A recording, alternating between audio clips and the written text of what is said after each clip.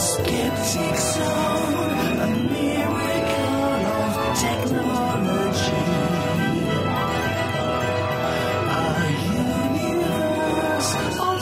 Universe the.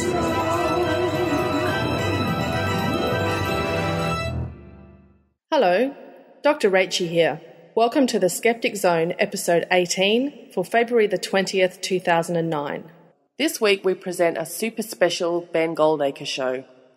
Part 1 is an exclusive interview about the Jeni Barnett LBC affair, and part 2 is a continuation of my interview with Ben from two weeks ago.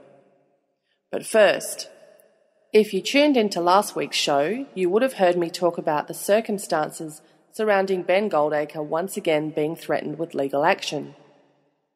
This followed him posting an excerpt from a January 7th broadcast of Jeni Barnett's talkback show on LBC Radio. This broadcast has probably become best known for Jeni's attack on a caller named Yasmin, an NHS nurse who called in to correct some of Jeni's misinformation about vaccination. On this week's Skeptic Zone special, we speak to Ben Goldacre to get his side of the story, and also his impressions of the phenomenal response from skeptical bloggers and supporters across the world.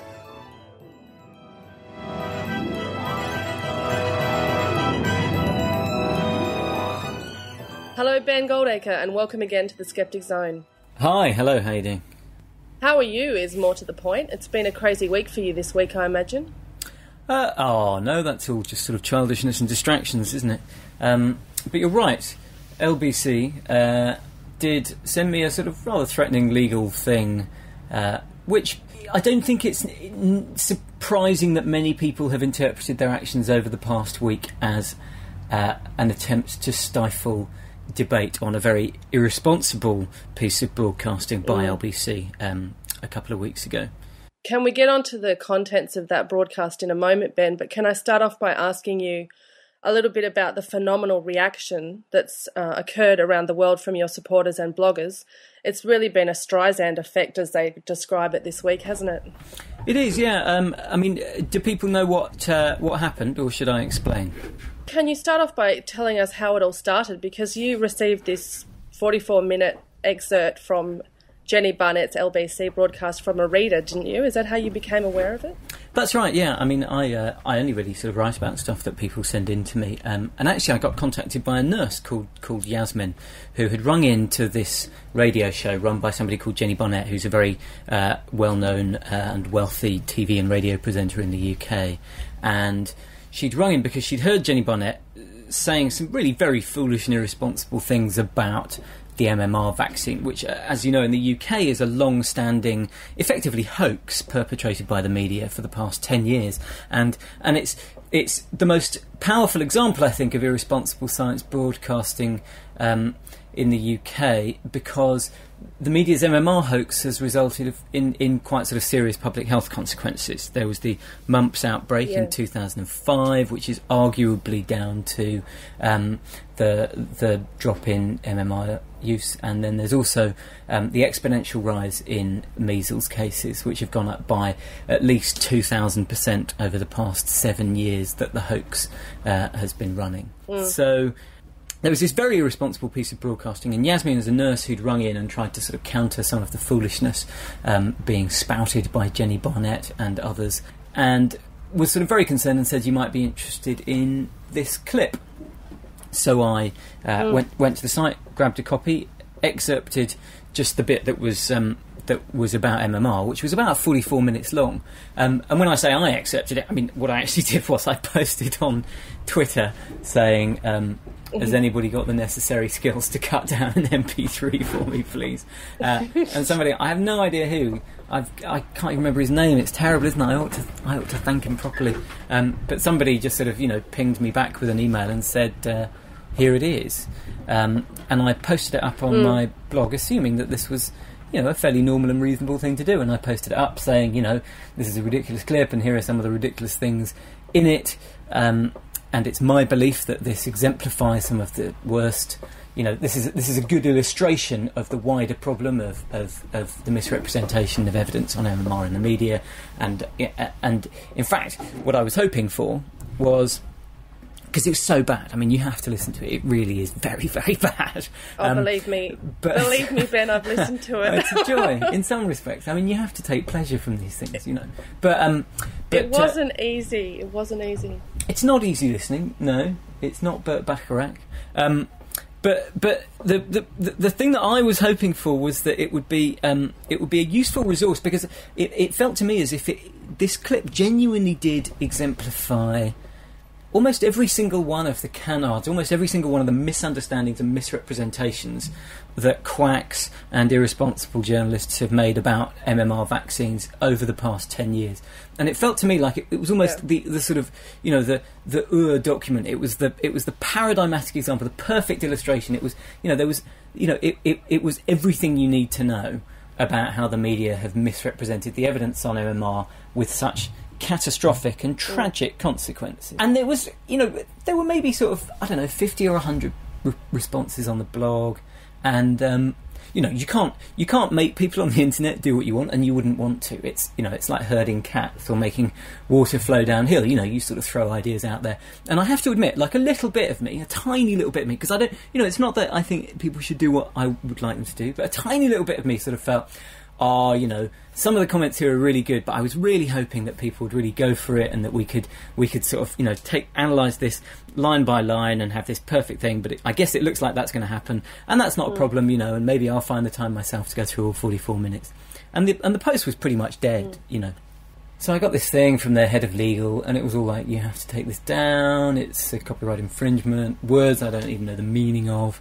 Um, and obviously, mm. I did what what literally anybody would do, which is um, I took it down because I don't have the personal resources to fight a um, to fight a, a case over a grey area in copyright. I mean, that's you know, it's ridiculous.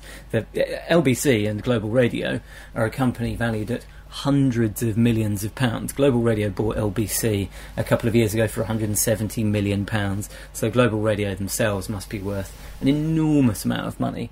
And it's all very well for them to say, well, you know, it's a legal grey area. We could argue the toss, but in reality, it's very obvious that there's no way I can I can argue the toss about this. I mean, yeah, then lots of people really quite touchingly actually sort of went, you know, this is a bad thing. and um, Can I tell you what happened on, on this side, Ben? yeah, yeah. I, in fact, had a copy of um, of it from the, your podcast, but I hadn't heard it yet, and Richard Saunders had heard it. And he said to me that he he wanted to play it to me, but he said to me, "I know that after five minutes you're going to start screaming at me and telling me to stop, to turn it off." and that indeed is exactly what happened. In fact, It is quite. You do have to be sort of physically restrained to listen to it, don't you? it's very difficult, and I, I we talked about this on our podcast last night, and I mentioned to people if they are a bit sensitive to stupidity, they should perhaps consider reading the transcript, which is a bit less painful. I disagree. Actually, I mean, I think I think the hilariousness of how of how they back of, of, of how their actions have backfired is when it's written down in black and white. I mean, I, I agree that you know her, her presentation and voice is obviously confrontational and, and and and hostile and infuriating, and that's why she's employed by the talk radio station because she's you know confrontational and infuriating. That's you know that's her that's her appeal. But actually, I think when it's written down in black and white, it looks quite a lot worse. we decided to post it on YouTube. I don't know if you if you know it's up there, but Richard put it up on YouTube because that was when the you had said help. I don't want to have it up anymore. yeah, yeah. So we stuck it up there, and then then after that, that was when everyone started blogging about it, and then it eventually appeared on WikiLeaks. Didn't it did, yeah, and also people started doing sort of transcripts of it and then hosting sort of different sections of the transcript in different places, and so you know it was a sort of it was a very predictable outcome. I mean, the thing that surprised me, I suppose, was the story gets worse as as you know and as we'll come to, but you've kind of got to wonder whether I get the sense that Jeni Barnett and LBC didn't really have very good PR advice on this, uh, and didn't really have very good new media advice. And actually, I think also not really very good legal advice because I, I think in an ideal world, the advice that you get from a lawyer on issues of um, copyright and reputation and defamation and so on uh, should also include um, a consideration of the risks um, of being perceived as being heavy-handed. But perhaps, I I mean, I don't know what the sort of ch- chain of reasoning was for LBC. I suppose I don't really mind, except I mean, the phenomenal insightlessness that they have demonstrated since is is genuinely staggering. Actually, So your blog crashed a couple of times because it was linked to places like um, yeah, got, Boing Boing, I think. it got linked on Boing Boing, which I think is that is Boing Boing still the biggest blog on the internet? Because it, it is fairly stupid, really, that you know, forty four minutes of a clip of something that was broadcast into our kitchens and cars on public airwaves. You know, um, I mean, it, it's pretty natural to assume that if you if there's some audio from that that's made up uh, substantially of people from the, um, who are members of the public ringing in and and you know it's a matter of really important public discussion and stuff. I mean, I don't know what the law says, but if the law says that's wrong, and I don't have the money to find out if it does or not. But if the law says that's wrong, then the law is, is wrong as far as I'm concerned. But anyway, then weirdly, Stephen Fry. Um, I assume Stephen Fry is equally yeah. famous in Australia and America. Yeah, Stephen Fry uh, Oh, yes. tweeted it, and he's got about a bazillion Twitter followers. Uh, and in fact, Stephen Stephen Fry posted a comment on my blog, which is like a sort of internet knighthood. I really felt like I'd won the internet at that moment. Uh, um, uh, and that brought in lots of visitors. And yeah, the, well, I mean, to say the website crashed is a bit unfair. Well, no, I mean the website did crash. Sure. So, can you tell us something about the early day motion that's now going on in, in Parliament with Nor- Norman Lamb and Evan Harris? What's that all about? Yeah, well, so then Can you briefly became- explain to us what that is, Ben? Because Australians don't know what that means. Can you just give us a brief overview of what an early day motion is? Okay, so an early day motion isn't like you know, it's not like an act of parliament. It's not this sort of amazing, big, exciting thing. Um, but an early day motion is basically if there's an MP who um, who thinks that you know who has something important that they think um, needs attention and perhaps needs a show of support from other MPs. Um, and that may be a sort of seed for subsequent political action, um, then they can put an early day motion down and it goes in a book in, in the lobby or somewhere in Parliament, um, and then MPs can sign it to demonstrate their support, and, and um, members of the public can contact their MP and ask them to um, sign it. Uh, Evan Harris, but actually the the proposer I think was, was officially Norman Lamb, who's the Lib Dem shadow shadow health secretary or whatever, uh, posted that up, and um, yeah, it's been signed by 28 MPs so far, which isn't bad for an early day motion, I have to say. And it's um, and it's been signed by proper people, you know, um, Glenda Jackson, Mark Oaten, What is in this early day motion, Ben? Right. What is it actually saying? MMR vaccine and the media, EDM 754, uh, that this House expresses its support for the combined MMR vaccine, notes with concern the re emergence of measles and the loss of life and long term health problems which will afflict children as a result of the decline in the vaccination rate, which followed Dr. Andrew Wakefield's now discredited research paper suggesting a link between MMR vaccine and autism expresses its disappointment that ill informed comments by presenters such as Jeni Barnett on her LBC radio mm. show will continue to cause unfounded anxieties for many parents and are likely to result in some parents choosing not to vaccinate their children.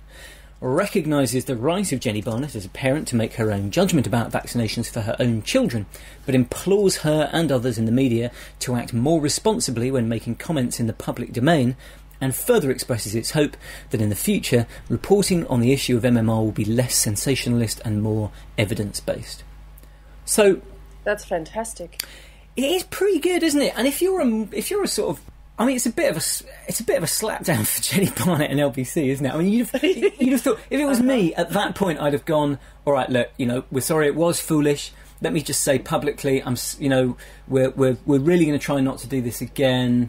Um, we're not going to let Jeni Barnett talk about medical issues until she's bothered to familiarise herself with the basics of the discipline, because we wouldn't let somebody talk about Yeah. sport if they didn't know the difference between cricket and rugby. So Yeah. why do we have this person talking about medical issues and science when they don't uh, understand the absolute basics? Um, and you might also say, Well, look, you know, yeah. here's the clip. uh, We're hosting it, free to access. Here you are. Mm. Here it is. Fine, and job done. But instead, they just continued to to inflame and dig, do things which I think a lot of people again are interpreting as further efforts to stifle debate. And I think they've had very, very bad PR advice again.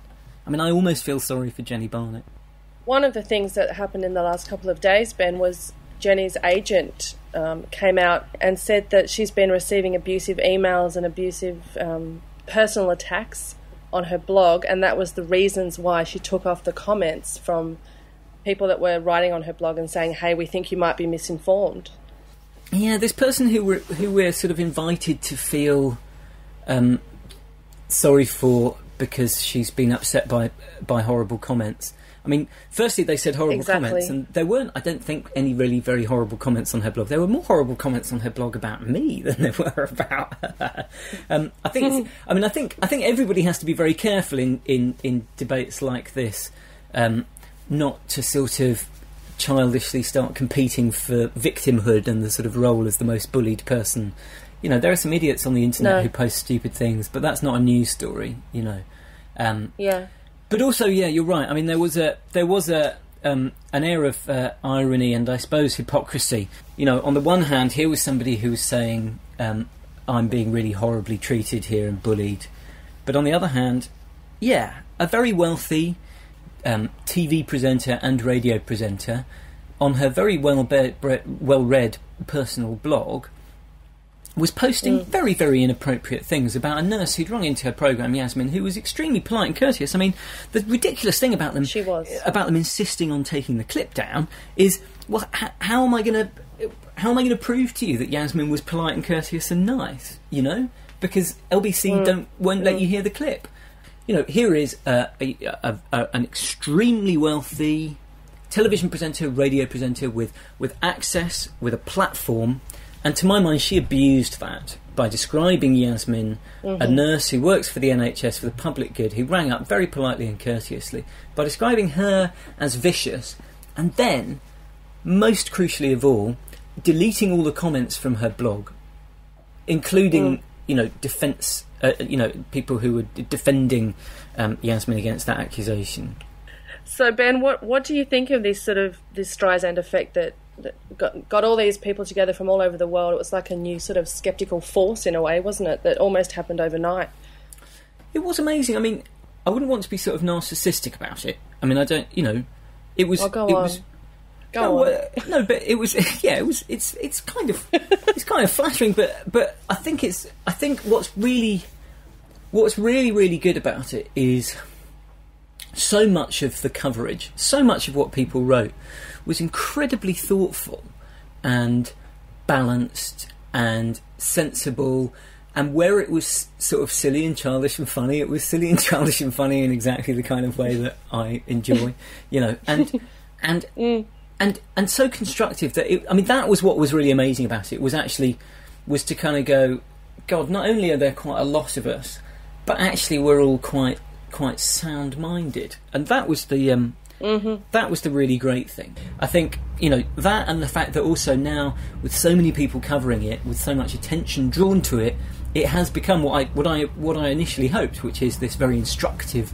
Um, example and people are really sort of going through it piece by piece and sort of pulling out all of the errors and misrepresentations and, and everybody's kind of linking to everybody else and, and talking through stuff um, and actually I think I think the one the only sort of one thing that maybe needs to happen now um, that would be really useful uh, I don't know if it has happened yet is um, if anybody was sort of was bored and uh, procrastinating on a more important project, uh, maybe to, to, to really Right. to really collate um, to collate the forty the whole forty four minute transcript um, with links to the rebuttals of each and every step would just be a fascinating and hilarious document to have.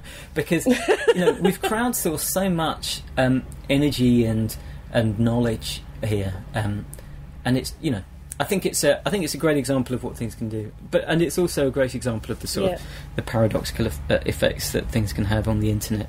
Um, I mean if you asked for it to happen it would never happen you know it just it just wouldn't For those of you yet to hear the broadcast, the entire 44 minute excerpt from Jeni's show is posted on my YouTube account located at Rachie Sid, R A C H I E S Y D. For the full transcript, visit the Science Punk blog at scienceblogs.com. I am also hosting part 4 of the transcript at my blog, The Skeptic's Book of Pooh-Pooh, located at www.skepticsbook.com. Zone reporter Kylie Sturgess also has part of the transcript at podblack.com. You can find links to other blogs about the affair at Holford Watch. Visit holfordwatch.info. Plus, check Ben's blog at badscience.net for updates and news. After the break, more Ben Goldacre, part two of my interview from two weeks ago where we continue our discussion about the Matthias Rath defamation case and bad science reporting by the mainstream media.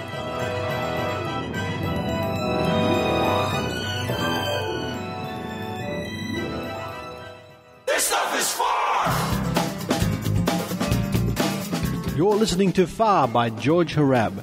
You can find out more about George Hrab by visiting his website at www.georgehrab.blogspot.com, where you can even find the lyrics to this song. Try singing along with it.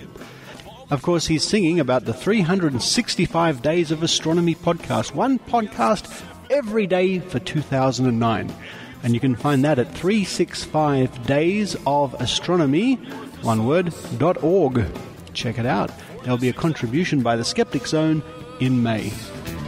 This stuff is far. It's really far. This stuff is far, far, far away. We're talking far. Like far, far. Can't get there by car in a day. It's super duper crazy far, but just pulsars, quasars, and stars. I mean, it's far, far, far. far. If there's some doubt, listen to a shout. This stuff is far.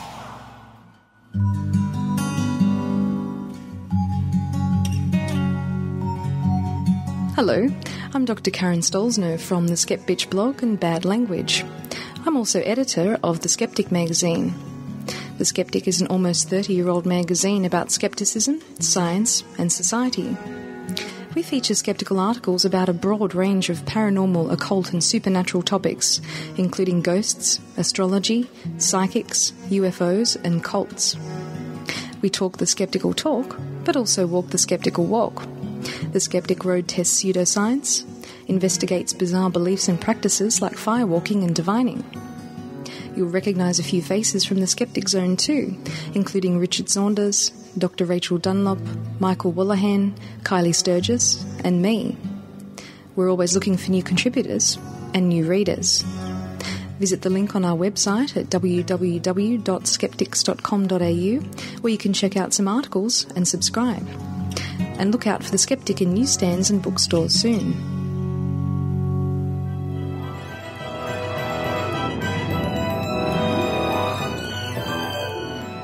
In our last Skeptic Zone special, we spoke with Dr. Ben Goldacre of the Bad Science column, blog, and book.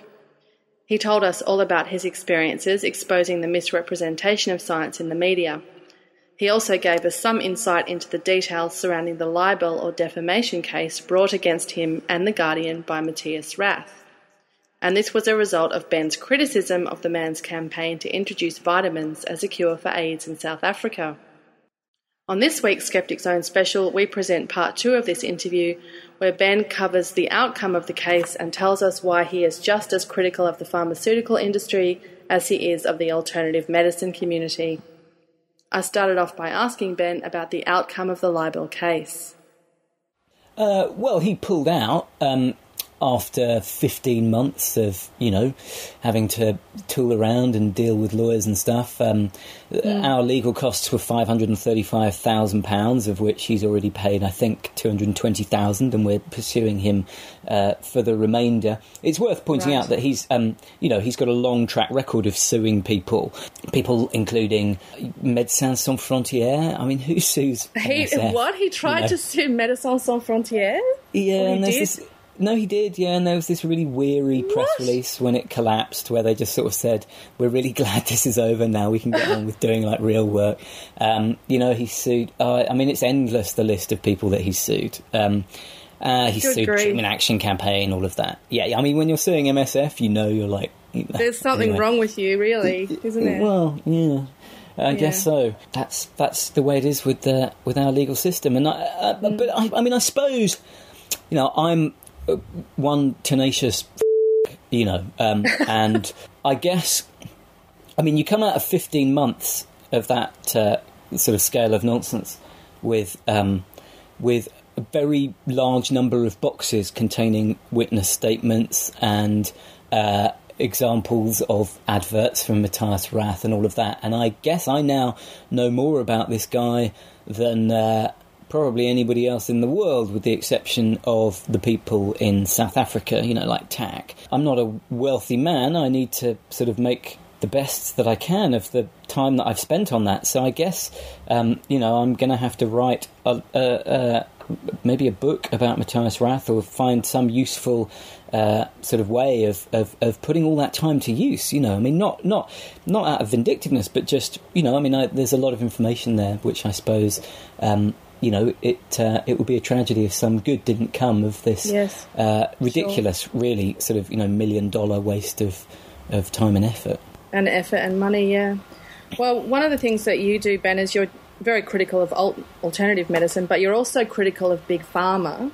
And this confuses a lot of your critics because they try to go with the line of big pharma stooge, but in fact, you're just as critical of big pharma.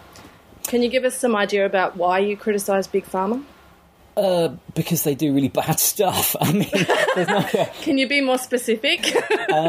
Y- Yeah. Uh, well, um, I mean, this is kind of you know this is what I, I teach medical students and, and doctors on this. You know, I do a uh, lecture and course. Um, it's called "Drug Company Bullshit." Is how it actually w- is, appears on the UCL timetable. I was delighted Right. to see, but elsewhere it's called "Critically Appraising Clinical Trial Methodologies from Industry."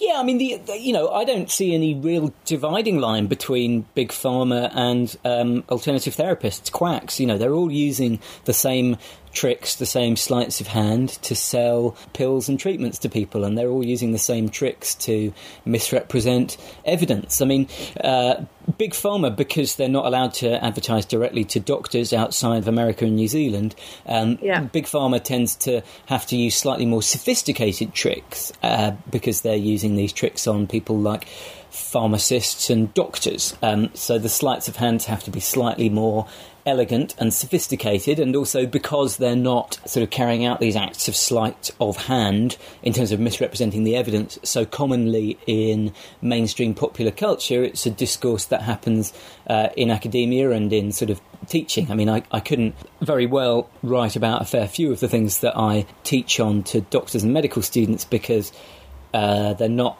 examples from popular culture, you know, sort of stand out a bit. Although I do often in the column, uh, wherever I can, wherever there's something that sort of hit the news, then I'll certainly um, dive in. Um, but the tricks of the trade are all exactly the same, and all of the all of the things that you know homeopaths use to rig their trials, like inadequate blinding, inadequate randomisation, that kind of thing, have all been seen in, in pharmaceutical industry trials before. I'm working on something at the moment with a couple of uh, f- colleagues on. Um, interpretive bias in acupuncture studies and it's really interesting how you know exactly the same things are found in acupuncture studies that you find in big pharma so um, interpretive bias is basically you know you've reported the methods and the results of your experiment accurately but your interpretation of those in the discussion section is just completely bonkers and off the wall yeah, and in the acupuncture you've got world in the rest of it, yeah. Exactly, yeah. So in the acupuncture world, it's um, you know people do three armed studies. They do uh, sort of you know treatment as usually or, or, or sort of no treatment at all.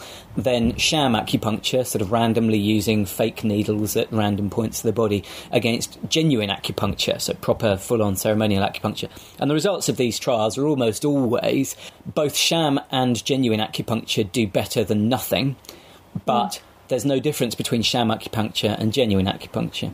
And uh, all of the acupuncturists say, oh, right, that means acupuncture works. And you're like, no, it doesn't. It means it's a a really elaborate placebo ritual with lots of sort of Yeah. ceremonial components works. And that doesn't surprise me. I'm cool with that, you know, get in there.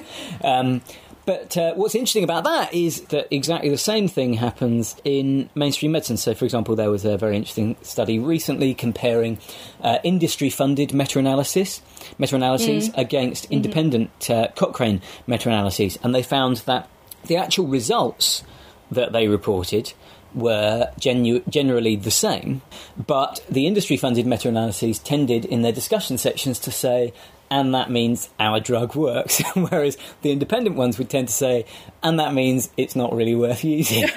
and so, you know, it's, it's, you know, it's just. How surprising. Yeah, yeah, who'd have thought? eh? So it's just fascinating, really, how the different um, sort of industries use exactly the same um, tricks. And you know, the other thing is, you know, all of the things that um, that alternative therapists accuse other people of, you know, they do, and that's uh, Yeah. That's what I find fascinating. But then, you know, I mean, I think it's important to remember that in the world of alternative therapy, you know, they set themselves up in opposition to the pharmaceutical industry, not in any meaningful sense, but just as an aspect of their brand identity. And they do so with good reason because there have been huge numbers of surveys of why people do, uh, why people go for alternative therapies. And it's actually very, very hard to find anything consistent and expected. So, for example, you know, a level of scientific understanding doesn't correlate very well with how much people use alternative therapies. Um, but the one thing that does repeatedly come out is that people who've had a bad experience with mainstream medicine are more likely to seek out alternative therapies. And I think the people who are marketing these alternative therapies know that, and that's why they set themselves up in opposition to big pharma. That's why, and and mainstream medicine. You know, that's why they're constantly sort of making these uh, rather shrill and melodramatic critiques of mainstream medicine, which I think again, you know, represent um, quite a serious opportunity cost. Opportunity cost is, you know, the true cost of, of something is what you give up in order to get it. So, an mm. opportunity cost is something that you you do wastefully when you could be doing something useful instead, and that's that's probably the greatest concrete harm that comes from alternative therapies because firstly when you could be spending all of this sort of health risk behavior motivation that you have on doing something useful for your health instead you're buying these pointless vitamin pills or, yes, or you know doing a five day detox or something. But the other problem is that you know there's a cultural opportunity cost which is there are huge huge problems with the way that the pharmaceutical industry runs itself. And they do practically run themselves because uh, regulators yeah. have repeatedly shown themselves to be pretty pretty hopeless hopeless in this area. There are huge problems with the way that Big Pharma is going, but they're slightly complicated issues and they don't have any purchase in popular culture. But instead, yes, yeah. what you get is this really childish, trite stuff like, you know, Big Pharma is evil, therefore homeopathy works better than placebo. Big Pharma is yes, evil, therefore vaccines cause autism. And the tragedy of that is that I wrote about the, the pharmaceutical industry deliberately hiding evidence of harm from their drugs and evidence of drugs not being much better than placebo. I wrote about that in national newspapers. That was SSRIs, wasn't it? Yeah, yeah, yeah. And and I wrote about that in, in three different newspapers on two different continents. That story lasted globally for about five days. Mm-hmm. And then it just mm-hmm. died. And that was a true story about real bad stuff that will still go on because the regulatory response to it is inadequate. We don't have, you know, proper clinical trials registers and all the stuff I write about in the book. God, I'm so crap, aren't I? The book. Buy the book. The book, the book, the book. um, uh, you know, they, we don't have any of that stuff uh, in place. Yeah. Meanwhile, this childish fantasy that, that the MMR vaccine causes autism in the UK has run for 10 years. You know, and the people who are driving it have the grandiosity to portray themselves as these noble figures battling against Big Pharma. And you just think, you know, you guys are just the biggest barrier to a meaningful discourse on, on the crimes of the pharmaceutical industry that I could possibly imagine, you know? Well, it was Ben. It was only yesterday that another article appeared in the in the BBC, I, I believe, wasn't it, in print about MMR Daily Mail, autism. Actually. Uh, yeah, Daily you, Mail. Yeah, it wasn't even autism. It was some other. So you know, it was just you know a kid who suddenly got ill, and it was a couple of days after having the vaccine. Yeah, that's right. I mean, what what you're kind of seeing there is is a number of different things. Firstly, in mainstream medicine, we, we have this thing called the hierarchy of evidence, right? Which is meta analyses, which are you get all of the results from all of your little clinical trials and you put them all into one big spreadsheet and you get a really big uh, number of, of, participants, and so that gives you a much more accurate uh, answer of whether a treatment works or not, right? Uh, so, in the hierarchy of evidence in mainstream medicine, meta analysis and systematic review are right at the top, and then it kind of goes down. You go trials, observational studies, prospective cohort studies, case control. Then, right at the bottom, you have individual case reports, like, you know, anecdotes and then right at the bottom, even below that, you have expert opinion, because you know that's expert opinion is definitely always bullshit. Um, and and the interesting thing about that is, it seems to me that in mainstream media, and I'm doing a, a, a quantitative study on on media output in the UK on this at the moment, it seems to me that the hierarchy of evidence in mainstream media is is inverted. So, uh, individual case reports and expert opinions are front page news page news, right? But meta-analyses and Cochrane reviews and stuff Yes. barely register. You know, they barely deserve a mention, uh, and that to me is really fascinating. You know, I've, I've got a paper being submitted at the moment showing that over the past year, a whole year's worth of coverage for the Cochrane Library, which is, you know, produces gold standard systematic reviews and meta-analyses. It's this independent academic collaboration that's worldwide, truly amazing resource and institution. Uh, It is. They publish about 600 systematic reviews and meta-analyses every year, and in the UK, they had 50 items of news coverage in one year in total throughout all newspapers. And that's nothing, you know. Yeah, and that's that's that's what doctors and academics would consider to be gold standard evidence, and it's Yeah. nowhere in mainstream media. Meanwhile, these sort of little stories are front page news. But anyway, the, I mean, the other interesting thing about the, that article in the Daily Mail is that individual children may well occasionally have adverse consequences from vaccination. I don't know about the details of this case. I do know that they had an exact they had a very similar case about a month ago where they were saying, "Oh, uh, you know, this coroner's report is coming up. There's a coroner's case. It's being heard at the moment. It's MMR vaccine on trial. Uh, this child was damaged by the MMR vaccine." And they reported all of that while it was ongoing. And then the result of the coroner's inquest was, yeah, this had nothing to do with the MMR vaccine. and only one of the eight newspapers or something that had covered it actually bothered to report the outcome, which is Sure, pretty yeah. astonishing. But anyway, But you, you know, ta- you talk about that even in your if- book. Sorry, go yeah, on, yeah. Ben. No, no, you were mentioning my book. That's great. I'm very bad. at it. The book. Well, no, the you the talk book. about that in, in your book Bad Science because you talk about how a lot of these big stories don't go to specialist science journalists. They'll go to journalists who don't have much expertise in this area. So they'll just follow the, the line of, well, the evidence has been debunked, but when it never was really there, in the case of MMR at least. That's one of the Yeah. problems you talk about. Um, so in the book, yeah, I mean, I kind of, I kind of try and go uh, after a prolonged sort of parade of morons from mainstream news media. Uh, I, I sort of try to understand what's going on here. And you're right. One of the, one of the most interesting things is uh, when I first got into this game, I, I thought all health and science journalists must just be morons because there was no other explanation for the phenomena that I was observing. But actually, it turns out that it's it's a bit more complicated than that. You know, um, actually, that's the. Uh, that's that's the uh, slogan on a T-shirt that I'm selling through the website badscience.net. I personally believe this is the funniest slogan T-shirt ever produced in the history of mankind. It just says, "I think you'll find it's a bit more complicated than that," and uh, it's on purpose. And we're holding a competition where you can send in pictures of you wearing the T-shirt next to somebody else wearing their own slogan T-shirt. So it's like "Drop beats, not bombs." I think you'll find it's a bit more complicated than that, and uh, stuff. I saw somebody on the tube the other day wearing a T-shirt that said "I need a hug," and I just thought this is the perfect opportunity.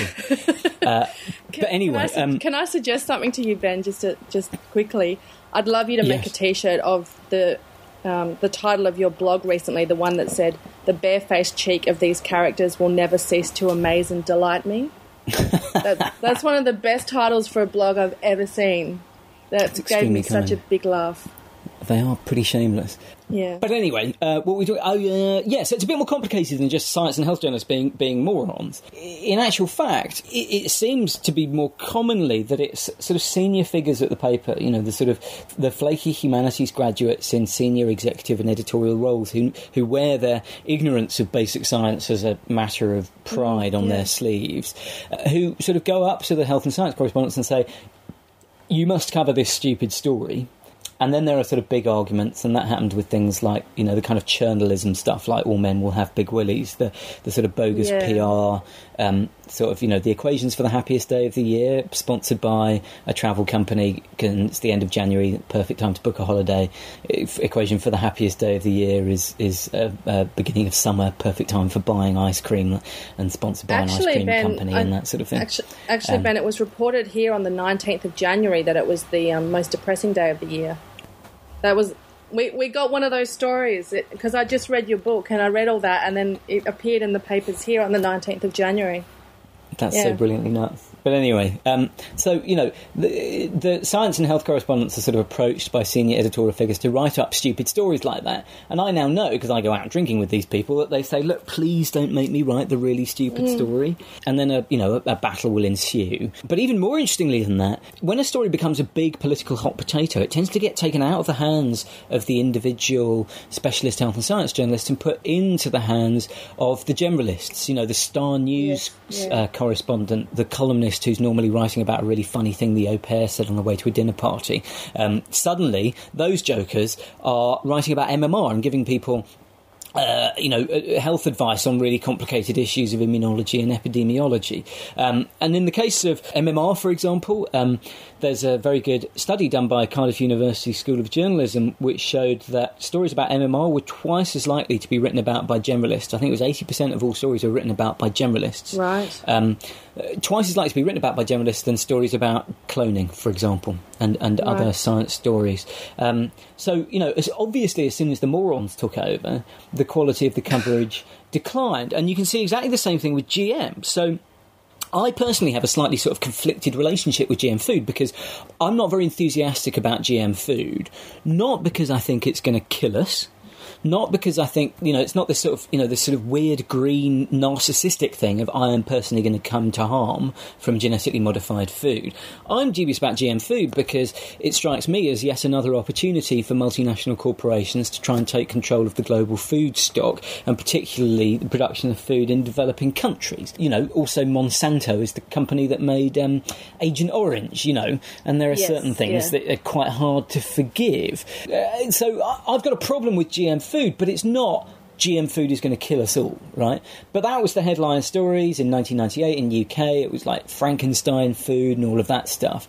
And fascinatingly, for the first three days of the GM Frankenstein food scare stories in the British news media, not a single one of the news or comment pieces in any single national newspaper in the UK was written by a specialist health or science correspondent. Not a single Wow. one.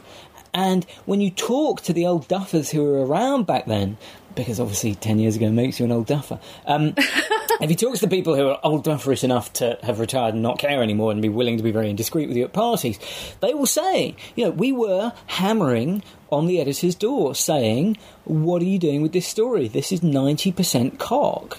But they weren't listened to. And that, I think, is the kind of real backstory to how so much dismal coverage gets into the news. Yeah. Well, a lot of this stuff is covered in your book, Ben. So, how can our listeners get a copy of your best selling book, Bad Science? Well, that's a very, very good question. I don't know. Can you buy it? In Aus- I mean, it's about, it's out in Australia, but I, th- I sort of had this vague sensation that it was maybe annoyingly difficult to find. I mean, it shouldn't be. It sold one metric ton of copies over here. I have to say, to my astonishment and slight concern. Well, it, it it sold should, out over um, Christmas in the UK, didn't it? It sold out over Christmas in the UK. They had like three emergency repressings. I don't know how many Wow. emergency repressings you have to have before it's sort of just routine. Um, but yeah, yeah. I mean, you know, I think there are something like sixty or seventy thousand copies in print. Forty-five or fifty thousand have sold already. It's it's bizarre. It really does surprise me. I have to. But anyway, um, yeah. Hmm. Oh, well, it's, it's so, a brilliant book. uh, I, I've, I've read it a couple of times. I really enjoyed it. That's very kind, but I don't. I mean, I hope that the, ex- the examples aren't aren't too English for an Australian audience. I mean, you have Gillian McKeith over there, don't you? Um, Well, But we, we- mostly the no, we don't. But don't forget. Ben, we're an international show, so we go to America and the UK and everywhere. So Oh. a lot of well, people- yeah. So America's really bugging me at the moment, actually, because I mean, half my web traffic comes from the US, and loads of people have asked me if it's going to come out there and stuff. And um, the only publishers who want it are the hot sort of American version of HarperCollins, and they want to sort of take lots of things out. I've just been talking to them about it yesterday, actually.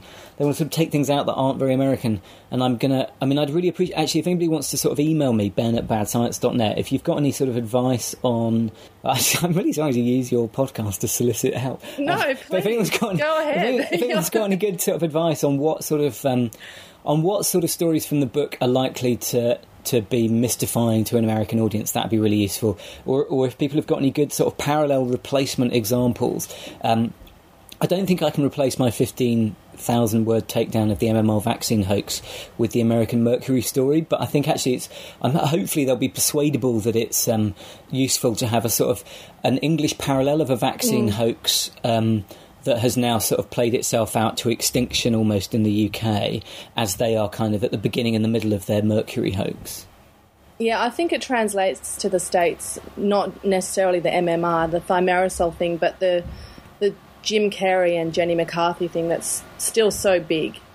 Yeah, the whole sort of celebrity um, expert thing. Yeah, I mean, I don't know. Yeah. The thing that worries me is there, there might be a version, an American version with sort of bits missing that people might buy by mistake. But anyway, this is a, not of any interest at all to a global audience, and I'm sorry. um, but yes, if anybody's got any advice on how to sort of foreignise my book, I'd love to hear from them. But you, you also want people to send you stories from other parts of the world that would possibly be relevant for you. Oh God, always. But what I really want people to do is to start a blog. I mean, sometimes people send me emails that are just so sort of amazingly ornate and and well researched. There's so much really sort of valuable nerd energy out there. I think if we harnessed all of the angry nerds in the world, we could have this sort of automatic refutation box that would just, you know, produce an equal and opposite output to all of the cock that's around. I mean, I think, you know, ignore the internet to a large extent because I just, I don't know, these sort of squabbles of, you know, some loony over there said something silly on the internet. Maybe I'm being I don't know.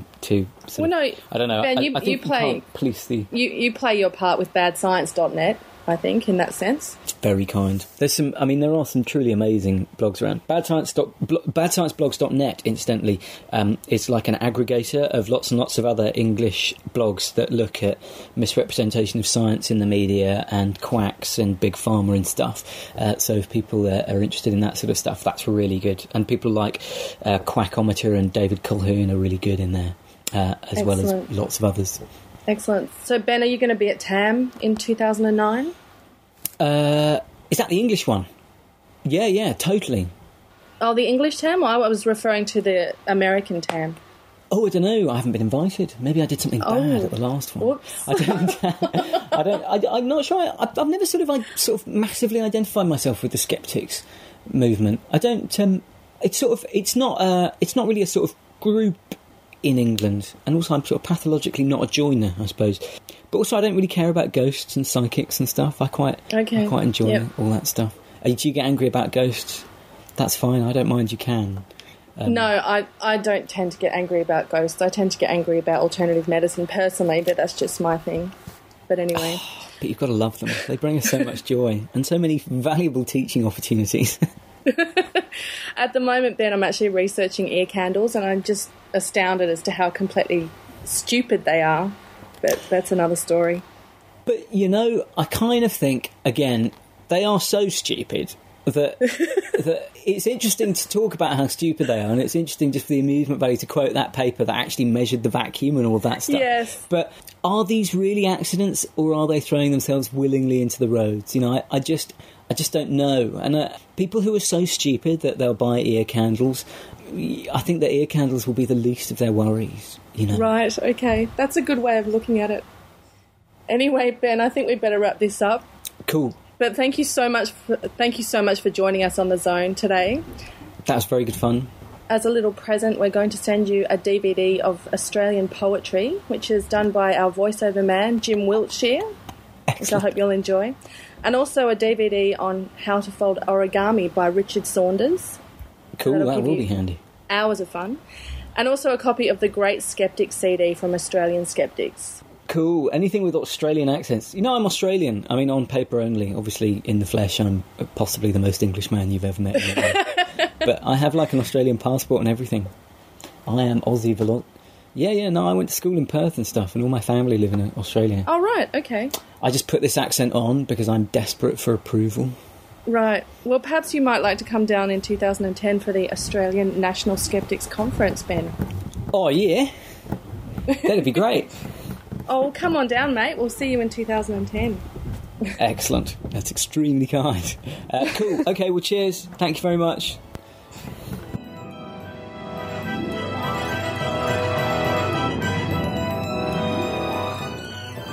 Thanks for joining me for this week's Skeptic Zone special. We are very grateful to Ben Goldacre for giving us his time two weeks in a row. Join us next week for our regular show, where I will be back with Dr. Rachie Reports, plus our other regular segments The Roundup, Grain of Salt, The Think Tank, plus Richard and Stefan return. Until next time, this has been Dr. Rachie saying goodbye from the Skeptic Zone. You've been listening to The Skeptic Zone. Visit our website at www.skepticzone.tv for comments, contacts, and extra video reports. Skeptic Zone.